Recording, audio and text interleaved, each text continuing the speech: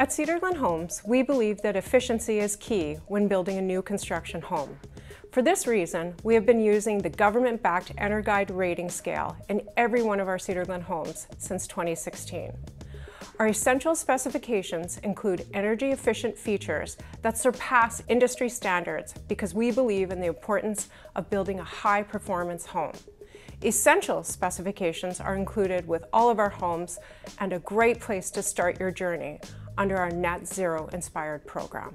Some of the EnerGuide features that we offer include triple pane insulated glass windows, a tankless water heater, R50 attic insulation, R20 basement exterior wall insulation, high efficiency furnace, HRV unit, airtight electrical boxes with gaskets to exterior walls, 2 pound spray foam to rim joists, upper floor penetrations are sealed to reduce heat loss, half pound spray foam around windows and doors, as well as spray foam to all exterior penetrations.